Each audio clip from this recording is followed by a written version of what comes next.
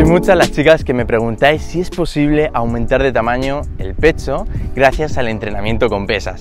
Pues bien, en este vídeo te voy a explicar de qué forma se puede mejorar el tamaño de tus pechos y que no es posible porque aunque entremos con pesas hay cosas que no podremos conseguir. A todo esto soy Jesús López, soy el creador del programa de entrenamiento Mega Glúteos, ese programa enfocado en el aumento de tamaño de tus glúteos que hoy te dejo en la descripción de forma totalmente excepcional y con una oferta.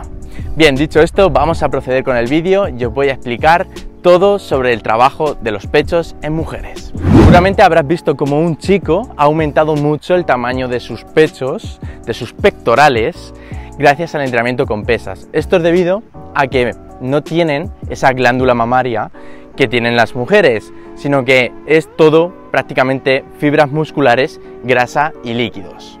Entonces, las fibras musculares responden muy bien al entrenamiento y van aumentando de tamaño, pero en el caso de las mujeres no puedes aumentar lo que es la glándula mamaria e hipertrofiarla y hacerla mucho más grande, pero sí que con algunos consejos podemos mejorar el aspecto visual. Ahora a continuación os voy a mostrar de qué forma podría mejorar el aspecto del pecho en una mujer mediante el entrenamiento con pesas, que no radica principalmente en hacer énfasis en ejercicios de empuje, sino más bien de tracción y de movilidad en los hombros y en el pectoral. Veréis, si yo por ejemplo tengo una postura con los hombros adelantados, de tanto hacer empujes, de estar mucho tiempo en el ordenador o estudiando, hincando codos, lo que va a pasar es que mi pectoral va a quedar más hundido y no se va a notar tanto.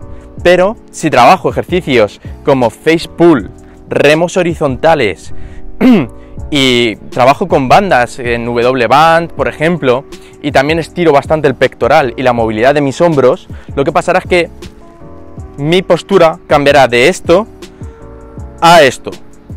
Y aquí, como podéis ver, el pectoral queda más hacia arriba, más firme, por lo que dará un aspecto visual de que hay un mayor tamaño en el pecho.